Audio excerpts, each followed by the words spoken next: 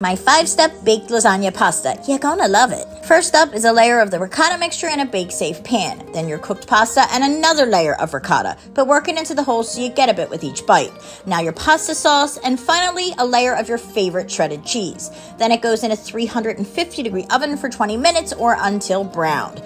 Guys, look how delicious, and it's so easy to make.